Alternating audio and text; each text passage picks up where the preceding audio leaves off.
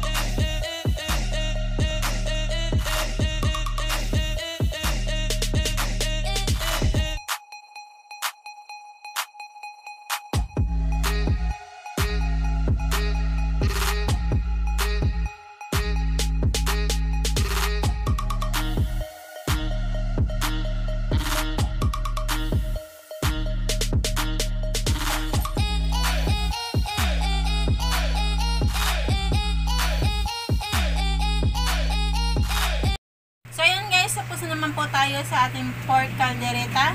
Sana po nagustuhan nyo.